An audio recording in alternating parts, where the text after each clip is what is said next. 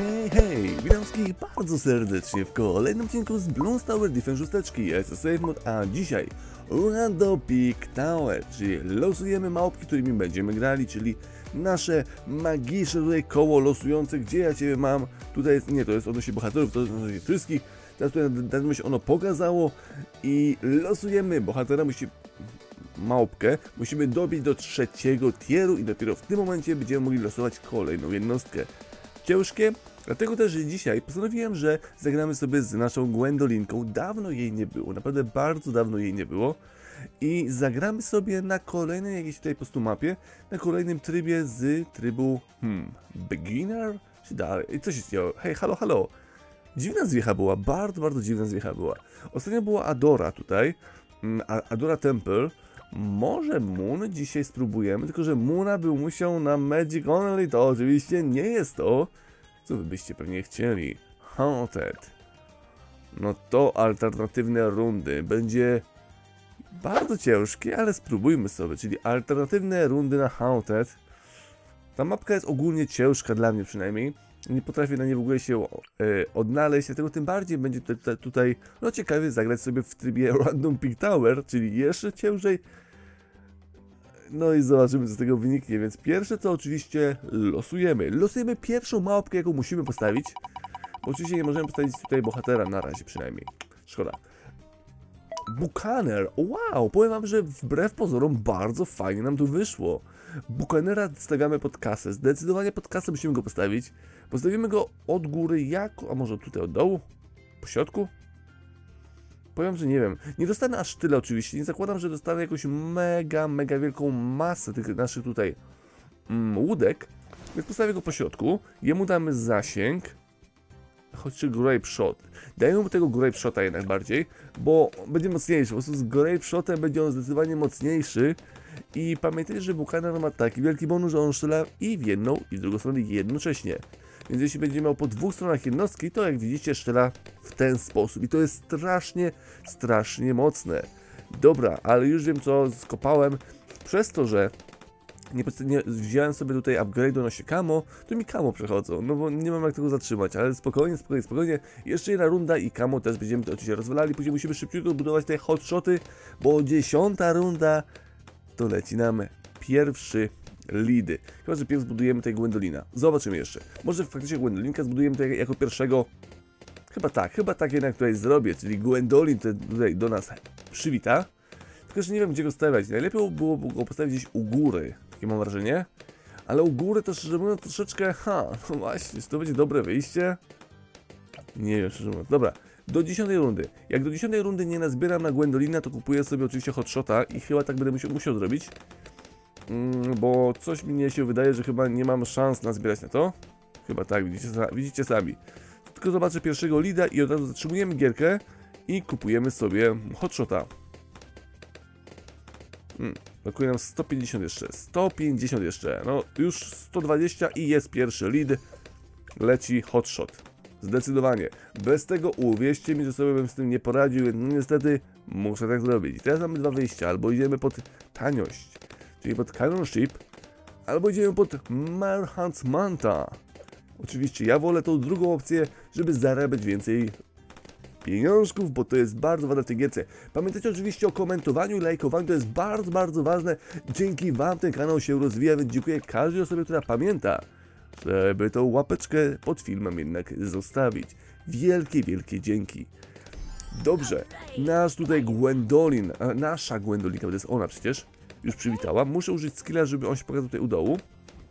Chyba tak mi się wydaje, że to musi być. Jak już teraz naładuje się pokaże, to jak nabije skilla. A nie, coś skopali z tym, coś z tym zdecydowanie skopali.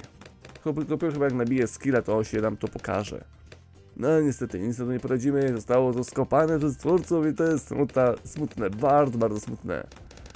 No dobra, Gwendolin, mam nadzieję, że ty nam tutaj pomożesz. Mocno. Przeszli na piersi, niestety. Niestety, przeszli nam już piersi. Dobra, nabił i teraz mogę używać naszy, tu, naszego tutaj koktajlu Mołotowa. Super, tylko muszę pamiętać, że on trwa przez połowę czasu ładowania, więc muszę go puszczać w dobrych momentach. Nie zawsze, ale w dobrych momentach muszę go puszczać. Bo to jest bardzo, bardzo ważne, żeby jednak go tutaj no, systematycznie rzucać. O, przykład teraz będzie spoko, chociaż to bym przeszedł i tak czy siak bez tego, mam wrażenie. Nie wiem jeszcze jak będzie z pierwszym Moabem. Może być oczywiście ciężko, ale zobaczymy to już, już, już niedługo. 40 rund będzie pierwszy Moab. Już w tym momencie wybronimy się przed Kamo Pancerzem, który będzie w rundzie 24. 24 runda Kamo Pancerz. Wow! To będzie ciężkie. Skończyć ile? 1, 2. O, to jest w ogóle mega ciężkie dla mnie, bo no nie mam jak tego zatrzymywać. Widzicie sami, że to mi przechodzi. To jest smutne, to jest bardzo, bardzo smutne. Dobra, potrzebuję losowanko. Losowanko, kolejna jednostka, coś co bije... Hmm, darty jakieś byłby spoko też. Ice Monkey, no Ice Monkey nie jest dobry. Zdecydowanie Ice Monkey nie jest tym, co ja potrzebuję. No ale muszę go postawić, muszę go postawić. Postawimy go tutaj, idziemy w jak najtańszą ścieżkę. Po prostu, jak najtańsza tańsza ścieżka. Ale ja pójdę siak chyba w Canon. W Cryo Canon. Ta jest naj, najtańsza niby, ale... Ja nie wiem, czy ona mi da taki bonus, jaki ja bym chciał.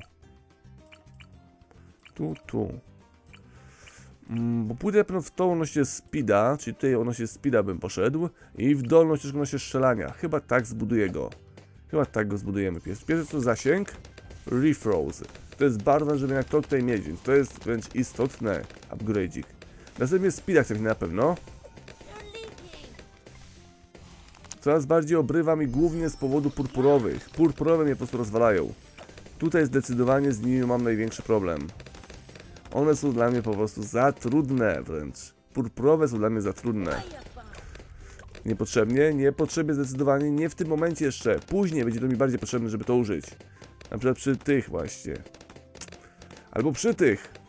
No to by mi się przydało, ale chyba nie mógł ich bić, czy mógłbym bić? Mógłbym ich bić, mógłbym bić. Okej, okay, Fireball, zdecydowanie, super, bardzo, bardzo fajnie.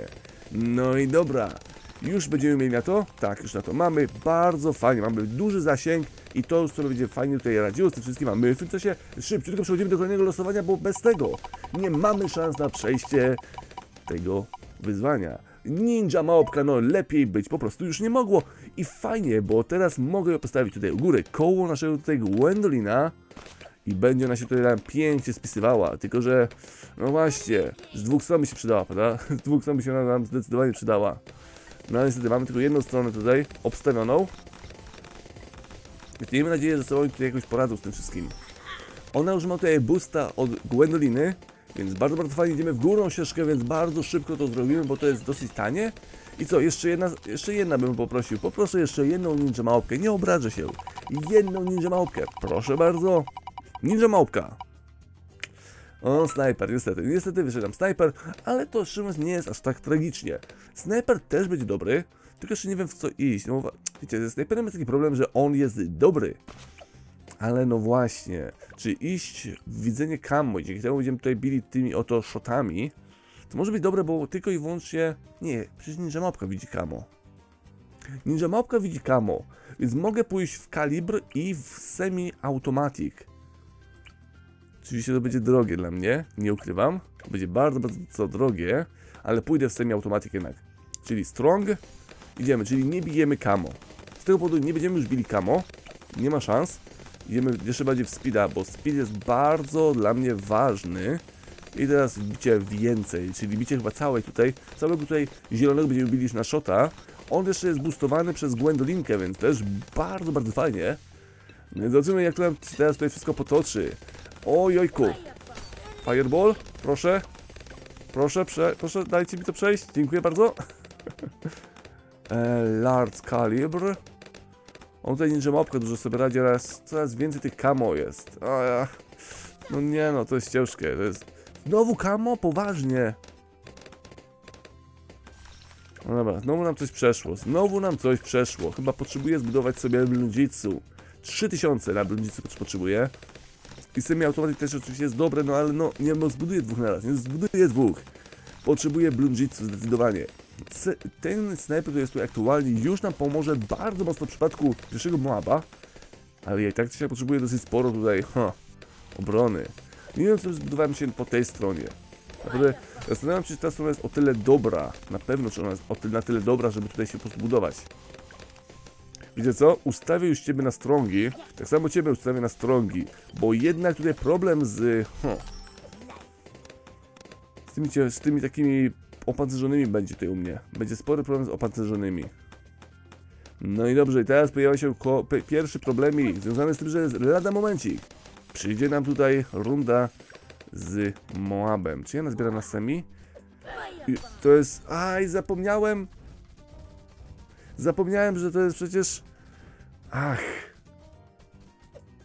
Będzie ciężko go opłać. To są alternatywne rundy przecież. Nie wiem czemu, ale w ogóle mi to wyleciało z głowy.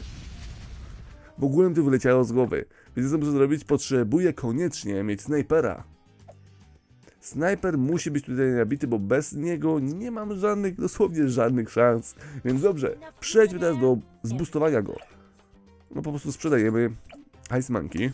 Budujemy teraz snajpera tego lepszego. I przywracamy Ice Monkey. Tylko Ice Monkey zbudujemy po tej stronie tym razem. Bo tutaj jest spora obrona. Tam jest spora naprawdę dobra obrona. Tutaj ona jest dosyć słaba. Idziemy pod strągi, a przy okazji jeszcze wylosuję przynajmniej kto by był. Chociaż czy ja mogę losować, gdy nie jest dobity Ice Monkey? Chyba nie mogę. Więc jednak nie losuję tylko z tego powodu, bo Ice Monkey nie ma trzeciego tieru. Więc muszę go odbudować. Za szybko strzeliłem, prawda? Zdecydowanie za szybko, ale może damy sobie z tym radę. Uwaga. Dziękuję, snajperze. Dziękuję, snajperze. Tylko dzięki, to, dzięki tobie udało się to przejść. Kanon. I teraz z czystym sumieniem mogę przejść do losowania. I kto dochodzi do naszej tutaj rodzinki, do naszego tutaj zestawu bijącego? Nie, proszę. A, każdy, ale nie super małpki. Dobra, potrzebuję to miejsce jeszcze raz. W tym momencie potrzebuję to miejsce, bo tutaj musi wyglądać super małpka. I super małpka, jeśli mam ją w tym etapie na 42 rundzie, nie mogę jej zbudować zasięgu, bo muszę mieć dolną ścieżkę. Więc wie- wiecie co to oznacza? Że się przyblokowuje prawie całą grę. Przyblokowuje się prawie całą grę, bo muszę zbudować awatara. Koniecznie potrzebuję awatara w takim razie.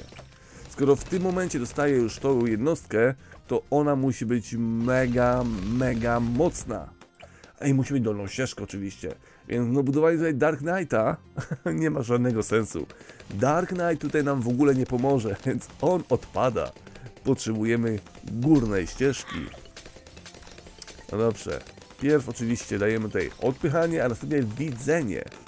Kamo, bo to kamo stanowi dla nas mega duży problem i sami widzicie zresztą, że jak coś mi przechodzi, to to przeważnie jest właśnie kamo.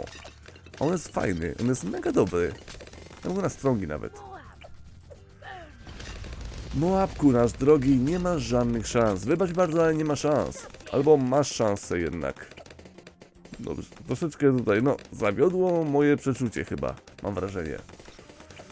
Ale dobra, zobaczymy co z tego wyniknie. Zobaczymy co z tego wyniknie. Jest ciężko, jest naprawdę mega, mega ciężko. Czy ja biję purpurowe w tym momencie? Chyba nie. Chyba że kiedy zbudowałem laser, to już nie biję purpurowych. Nie pamiętam, czy awatar bije purpurowe. Wiem, że to świątynia może z punktów knowledge, że może bić ona purpurowe, ale czy laser, czy sam awatar już może? Tego nie jestem pewny. Dobra, plazma zdecydowanie jest nam potrzebna. To jest coś, co nam uratuje, uratuje tą gierkę. Ciągle myślę jeszcze o boostowaniu Buchanera na wyższy poziom do, do zarabiania.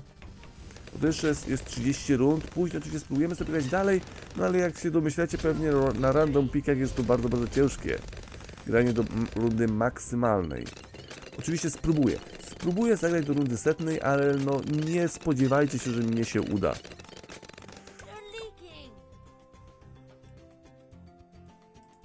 Chyba przegrałem to. Mi się wydaje, że to chyba przejdzie, dlatego wolę jednak wyjść, bo wiecie, no, wykupywanie się jest, no oczywiście, wydaje na to dużo pieniążków, ale później mam sporego boosta. To nie jest fajne. Pójdę pod to. Mam nadzieję, że to mi wystarczy. Zapomniałem, to są kamo. To są kamo przecież. To mi nic nie da. Zbudowanie tego mi nic nie da, bo to są kamo przecież. Musiałem po prostu wyjść. Musiałem wyjść, bo to nie miało żadnego sensu. To nie miało żadnego sensu w tym momencie. E, w takim razie, co mi pozostaje? Co mogę zbustować, żeby sobie tutaj poradzić? Znaczy, ja wiem, co mogę. Mogę go zmienić. Mm, na kanona. Kanon byłby spoko. Kanon byłby spoko w tym momencie. Albo w ogóle tym później na środkową ścieżkę. Środkowa ścieżka musiałaby być pod to, a pod to to bym musiał pójść w górną ścieżkę. Jaki ty masz aktualnie damage tutaj? 13 tysięcy. Ty masz 5 tysięcy. Ty masz 2,5. 13, 8. 800. Więc się nie opłaca się przemieniać, bo to mi nic nie da. To mi nic nie da. Ustawię cię na stronki w takim razie. I zobaczmy, czy to zmieni naszą tutaj grę. Chodzi o to, że ty będziesz bił pod, pod first, jednak. Chodzi o to, żeby się tutaj wybronić jednak przed tym.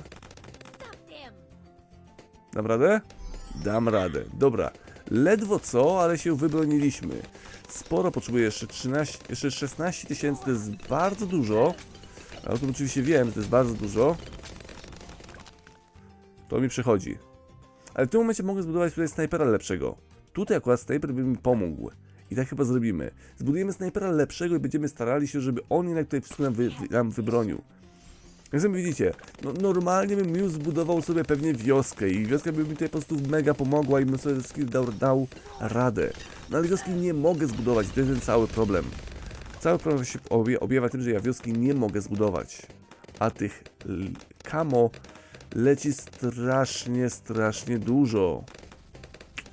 To jest ciężkie, to jest mega ciężkie do przejścia przez, przez to wszystko. Przez to mam z tym kamo mega problem. Myślę ciągle, czy by jednak nie pójść w środkową ścieżkę, w robą manki, a później sobie tego terrora próbować jeszcze później zrobić, albo w ogóle go zostawić na robo małki, robo manki. Nie będę mógł bić lidów, czyli kamopancerz tu nie do pokonania, tylko on będzie bił kamopancerz, ale może bym sobie i tak się dał, dał z tym radę. Zobaczymy jeszcze. Może będę coś tylko minował. Potrzebuję fire, fireball jak nic, bo to jest za ciężkie. Jednak jak leci ceramika, ta właśnie, no zobaczycie zresztą, powinna mi chyba przejść, co? Tak, no muszę, po prostu muszę. Ceramika Kamo jest dla mnie po prostu nie do pokonania. To też jest dla mnie nie, nie do pokonania. Zdecydowanie, to jest nie do pokonania dla mnie. Znaczy nie, tutaj tylko i wyłącznie Ninja Małpka mnie tutaj ratuje. Ona mnie ratuje tutaj skórę w tym momencie. 14-12 tysięcy jeszcze potrzebujemy. A, jak chcę tego awatara zrobić, bez awatara będzie mi ciężko tutaj grać. Mogę oczywiście, sprzedać snajpera, wtedy już mi wystarczy na awatara, ale wydaje mi się, że snajper i tak jest dobry. Chyba przesadziłem z tym ogniskiem, co? Chyba tak. Mogę sobie podarować e, strzelanie tej umiejętności, ale okej, nic sobie nie poradzimy. To musi się udać, musimy to przejść. Ale to jest ciężkie, naprawdę to jest mega ciężkie. Spróbujcie sobie za, zagrać w takim trybie Random Peak Tower. Wow, po prostu wow. To wam daje po prostu takie emocje przez to wszystko, że sobie tego nie wyobrażacie. Okej. Nie dobra, jest spokojnie, jest spokojnie. Jednak lidy, a ceramiki to jest znacząca różnica. No ceramika jest strasznie ciężka. Lidy, spoko, przejdą. spoko, nie ma z nimi żadnego problemu wręcz. Dobra, teraz tego. Rzu rzucę fi fireball. Źle, w złym miejscu troszeczkę wylądowało. Dajmy podpalenie. Mhm. Użyłem wszystkie umiejętności. Źle, bardzo źle.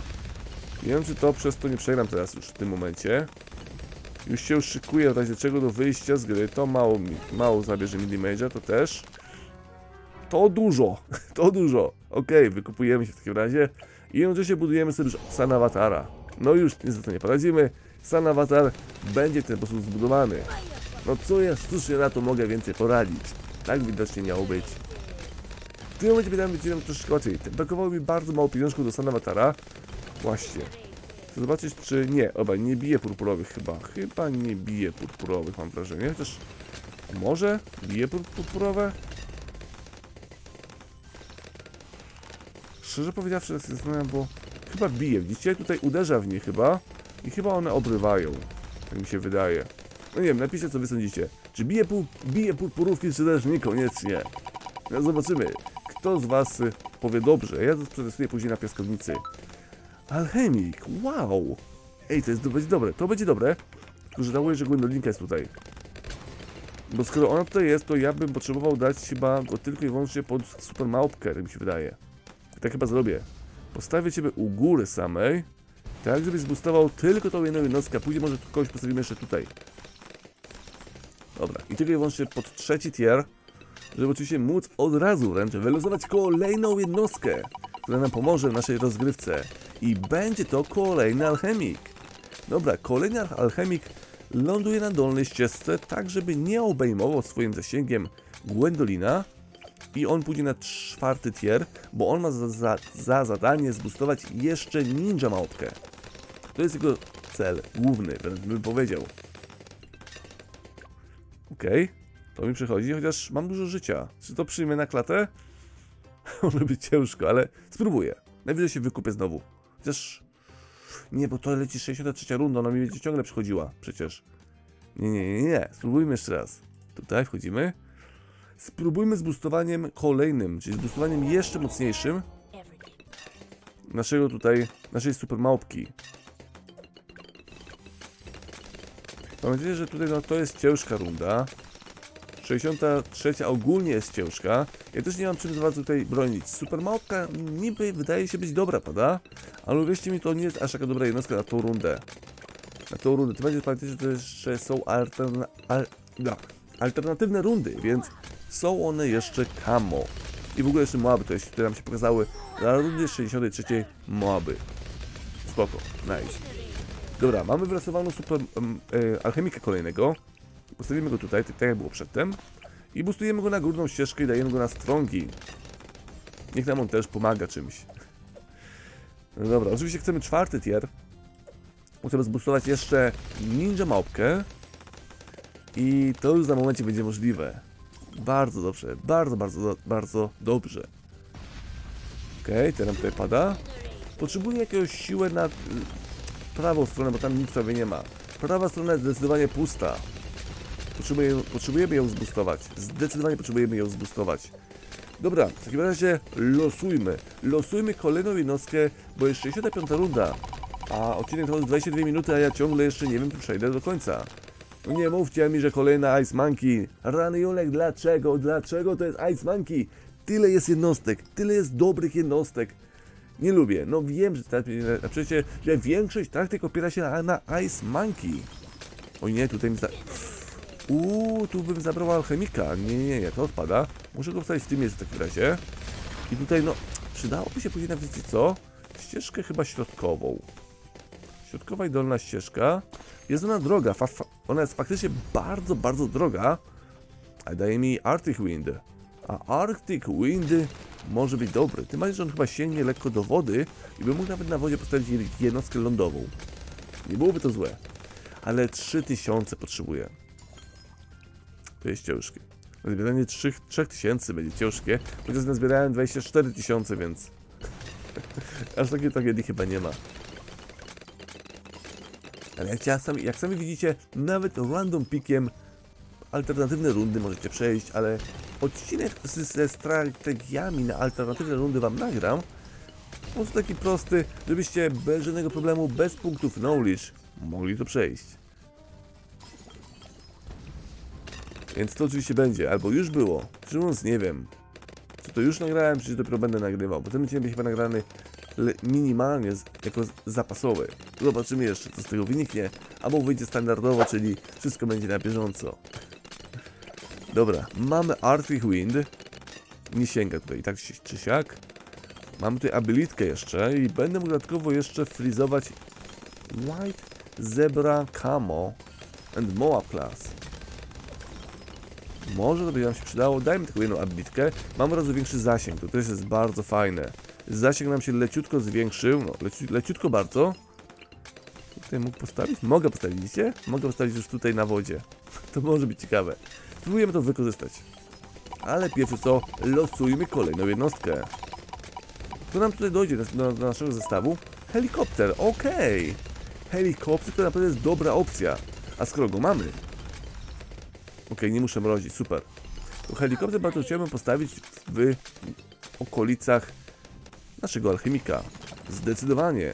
Koło alchemika helikopter będzie idealnie wręcz tutaj się ukomponował, bo będzie boostowany. To jest alchemik czwartego tieru, więc boostuje i helikopter oraz super małpkę, więc dwie jednostki mocne będą zboostowane. I tak naprawdę w tym momencie mógłbym sobie już odpuścić i pójść w Apacha nim. Bo oczywiście tak, idę w tym kierunku, bo muszę widzieć kamo. Zdecydowanie kamo jest mi bardzo potrzebne. Chyba zrobię odpychanie. Tylko, że Moaby też są dla mnie problematyczne, ale kamo pancerz, czy ja w ogóle dobiję do Apacha? Właśnie. Zacznijmy od tego pytania. Czy ja w ogóle dobiję do Moaba? Bo jeśli nie dobiję, to nie ma sensu iść w górną ścieżkę. A wydaje mi się, że do rundy, którą jestem w stanie przejść, chyba nie dobiję. Ale zrobimy jednak odpychanie. Czyli środkowa ścieżka Down Draft. To będzie chyba lepsza ścieżka. Bo będziemy mogli przynajmniej odpychać te nasze baloniki, które mam wrażenie, że bardziej nam przychodzą balony niżeli Moaby. Nie wiem, czy mam takie jakieś, jak- jakieś głupie wrażenie. Bo ty jesteś na strongi, ty jesteś na first, okej. No ale dobra. Miejmy nadzieję, że sobie z tym poradzimy. Muszę mrozić albo coś? Chyba nie.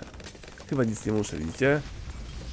Dobra, jak najbardziej to było dobre wyjście. Postawienie helikopter po tą ścieżkę będzie strasznie, strasznie, strasznie mocne. Więc w takim razie zacznijmy od kolejnego losowania. Dochodzi do nas tym razem jeszcze inżynier. Wow, inżyniera dawno nie było w losowaniu. W ogóle chyba go jeszcze ani razu nie wylosowałem? Czy był w losowaniu jak- jakimś? Nie pamiętam szczerze mówiąc. Czy był on w jakimś losowaniu? Szczerze nie kojarzę go. A jak go nie, koja- a jak go nie kojarzę, to mogło go jeszcze nie być w żadnym losowaniu. W co ja w nim pójdę? Hmm. Mógłbym pójść tutaj pod pistolety bardziej, albo pod wieżyczki, że te wieżyczki nie są takie mocne wbrew pozorom. Bloon Trap. Bloon Trap. To może być dobre.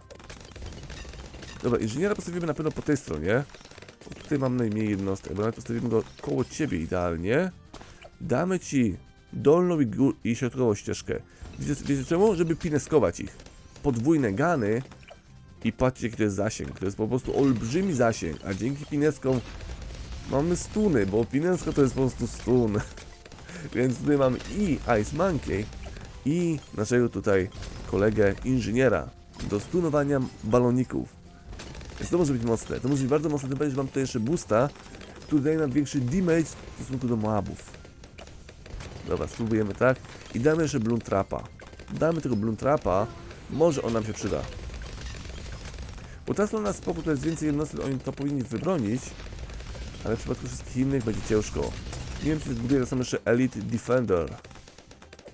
To też może być dobre, wbrew pozorom.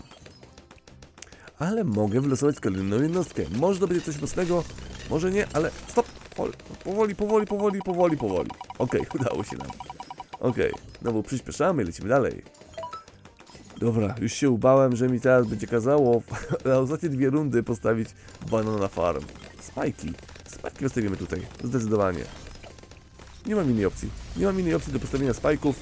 Stawiamy je w taki sposób, po prostu, żeby tylko były, po prostu, żeby tylko już były. Co ja nie mam postawić teraz? Coś planowałem. Coś mi tam po głowie chodziło, żeby postawić. Yy, zdecydowanie?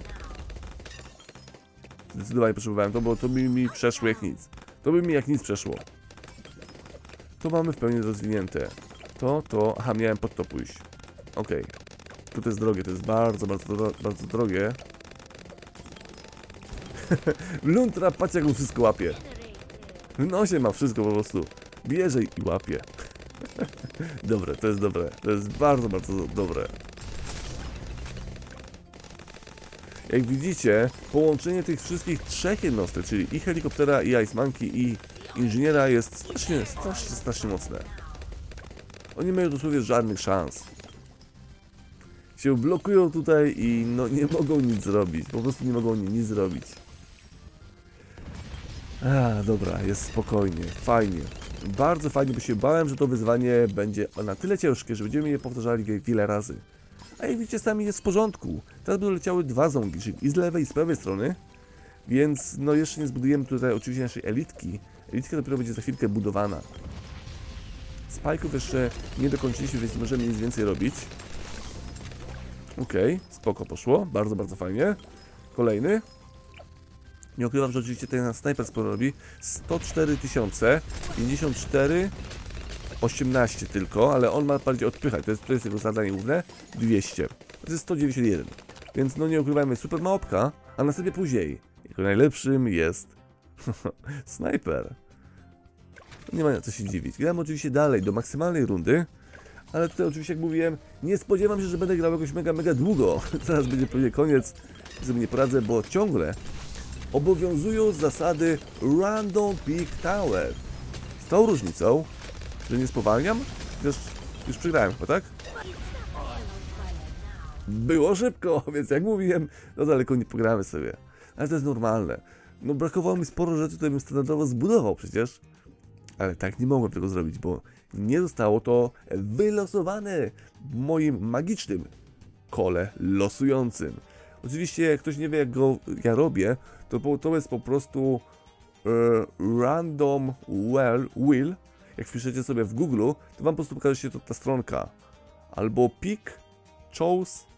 Po prostu wpiszcie w ten sposób, unoście koło losujące i tam spokojnie będziecie to mieli, oczywiście w wersji angielskiej. No i dobra, to by było na tyle. Mam nadzieję, że odcinek Wam się spodobał. Jeśli tak, pamiętajcie o komentowaniu, lajkowaniu. I widzimy się w kolejnym odcinku z Bloons Tower Defense.